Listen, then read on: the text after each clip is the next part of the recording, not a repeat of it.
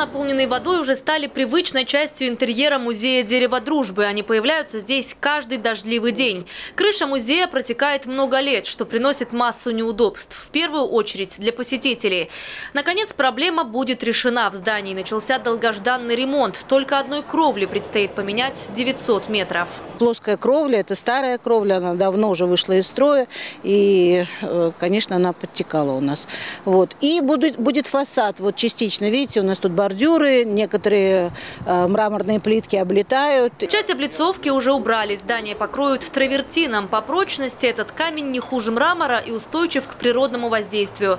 Кстати, здание музея такого ремонта не видело со дня своего открытия, более 35 лет.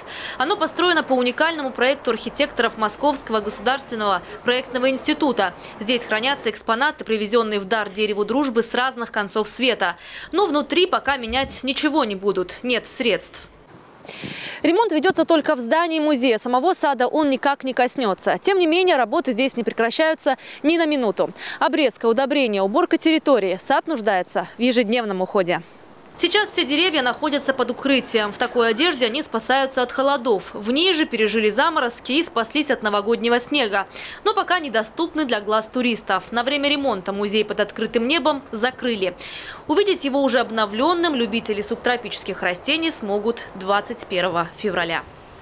Ольга Десятого, Николай Тихонов, телекомпания «ФКТ».